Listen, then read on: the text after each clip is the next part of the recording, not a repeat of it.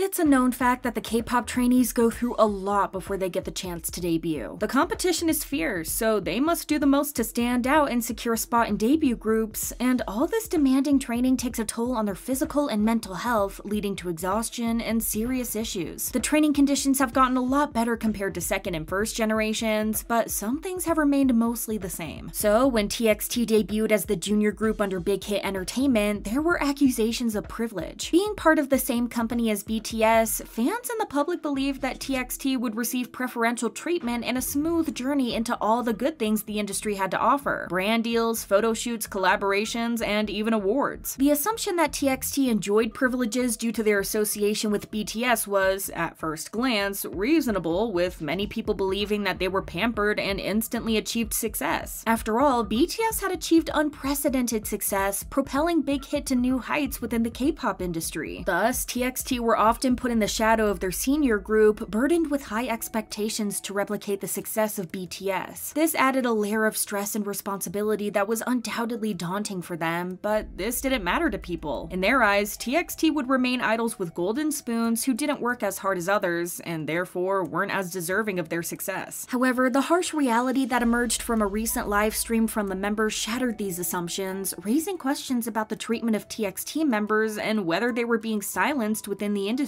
On September 21st, Soobin, Taehyun, and Huening Kai went live on Weverse and revealed some never-before-heard stories from their trainee days. While the members were mostly joking about their experiences, some of the incidents appeared quite distressing considering how young they were back then. Soobin began by talking about how during the VMAs, he found some old 2017 photos of them as trainees. These pictures showed them fast asleep from exhaustion, and it made him feel a bit sad. Then they started sharing stories from their trainee days, each one of them them more disturbing than the other. One of the stories they shared was about the diets they had to follow. It's not like we haven't heard stories about how idols would sneak out to eat food when companies would force diets on them, but this story that Soobin recalled was pretty heartbreaking. During their trainee days, there was a time when they had to stick to a strict diet. Back then, there was just a single room without a CCTV camera, and he took advantage of that one day when he couldn't hold back his hunger. Soobin said that as an impulsive decision, he made a quick run to a convenience store to grab some gimbap and drinks. Soobin knew that if he were to eat his meal in the company, he'd get caught, so to stay under the radar, he chose the room without the CCTV, which had a window instead. While he was pretending to do his homework and sneakily enjoying his meal, he had an unexpected feeling that someone might be watching. When he turned around, he spotted a rookie development team member observing him. Soobin went on, Back then, it wasn't even funny like it was when I was on focused diet training, and dieting was hard for me, so that moment literally gave me goosebumps. Just thinking about the weight of constant surveillance and believing that you've discovered the only spot to savor a well deserved meal, only to realize that you're under observation there as well, is heartbreaking. Unfortunately, it doesn't end there. Aside from the diets, it seems like the conditions in the dorms were horrible, and it was incredibly dangerous to have people live there. Soobin thought back on the time when the ventilator and the air conditioner were broken in the basement of their practice room, which had caused the water to leak in the floor. This led to literal mushrooms growing on the floor. The members had talked about about this before in a previous live broadcast in March when Beomgyu and Taehyun had shared a similar story about the old Big Hit building. They recounted discovering a large yellow mushroom protruding from the wall, which Taehyun initially mistook for a sponge due to its color, but soon recognized that it was a mushroom and promptly removed it. However, to their surprise, three days later, the mushroom had returned to the same spot. The humidity in the practice room would also cause the mirrors to get fogged up, so the members were forced to wipe them down with a newspaper. The only way of getting ventilation in the room was to open the windows, but leaving them open in the winter when they had been sweating was just an invitation for illness. Soobin said, At that time, I kinda really hated the company. I hated our teachers, but when else would we be able to experience something like that? Believe it or not, mushrooms weren't the worst thing about the old Big Hit building. Taehyun revealed that there were also electric shock rooms in the building, which were hazardous on their own and caused him to get hurt once. But there was also a broken extension cord in the dorms, and Taehyun made the mistake of grabbing it. He was electrocuted, and this would have ended tragically if the other trainees weren't there to help him. Taehyun expressed, I'm telling you, I'm still too scared to even touch just in case something happens again. It's absolutely horrifying to think how this could have ended just because Big Hit didn't replace a broken extension cord. If the lawsuit-worthy conditions of the building weren't enough of a burden on the members, the teachers in the company didn't make things even a little bit easier. Taehyun shared that during trainee evaluations, the teachers used to scold him for everything. If he were to practice a song differently from how he was supposed to, he'd get yelled at for going a different route. After the initial criticism, Taehyun copied it exactly the way it was, and instead of being praised, he was told, if you're going to copy the original song like this, people are just going to listen to that artist singing. Why would they listen to you? Damned if you do, damned if you don't. But this wasn't the worst of it. Supreme Boi, one of the biggest producers in Big Hit, used to tell Taehyun that he didn't understand why he was being called a main vocalist when his voice had no charm to it. Then the following month, Supreme Boi would tell him that his voice is really charming. Talk about whiplash. However, we can agree that there are much better ways to give feedback to someone that young. It seems like the teachers were really tough on them and gave them a lot of contradictory feedback, which didn't help them at all. These poor boys already went through so much, only to have a bunch of grown adults picking apart at their skills as a technique of making them better artists. Then there were the power dynamics. Not between the staff members and the trainees, but between the trainees themselves. Huening Kai recalled a story when he, Taehyun, and Soobin were engrossed in their language homework in the dance room, while other trainees were deeply immersed in their dance practice outside the room. There was a small window in the room that allowed Kai to observe what the senior trainees were practicing. He noticed a specific move where they had to pull something and then come back, so in response, Kai spontaneously started dancing along. However, it appeared that the older trainees who were practicing outside had taken notice of his actions. Taehyun mentioned that they suddenly knocked on their door and requested them to come out. Soobin added that they received some stern words as the older trainees misunderstood their intentions and thought that the members were making fun of them. The incident didn't unfortunately end there. Kai wasn't aware that the other seniors had been filming a video, so he was naturally taken aback by their reaction. The atmosphere then turned tense, and the older trainees responded by making them all do planks as a form of punishment. Everyone was already aware of the strict social hierarchy that existed between trainees in the same company, as everyone was competing for a spot in the group and saw each other as a rival, but until TXT spoke up about everything, it was unknown just how unsafe trainees felt among themselves. Hearing all the power tripping that took place in the practice rooms, with the members being punished for lighthearted jokes, makes us all wonder about everything that happened that we don't know about, which makes us question a lot about things regarding Big Hit and their methods. Even BTS's Namjoon admits that the company tends to control at least, to some degree, what the idols say about their experiences as trainees. In an interview with El País, he was asked whether he thought the process of creating a group was inhumane. Namjoon responded by explaining that his company doesn't really appreciate how he answers this question, as he stated that he agrees with this to a certain extent, but reporters tend to frame his responses in a negative light. So what other things did TXT actually go through that we know nothing about? Mistreatment and neglect of this kind are wrong and should not become accepted as normal just because so many companies engage in such practices. When discussing the conditions that these trainees live through just to debut, it's essential to strongly condemn the companies and executives responsible for these actions. These executives encouraged and, in some cases, participated in child endangerment, which is highly concerning. It's good that Big Hit have changed their ways now, but there still needs to be some serious investigations conducted about the entertainment companies. Nobody deserves to go through this. Share your thoughts in the comments, and we'll talk to you soon. Bye!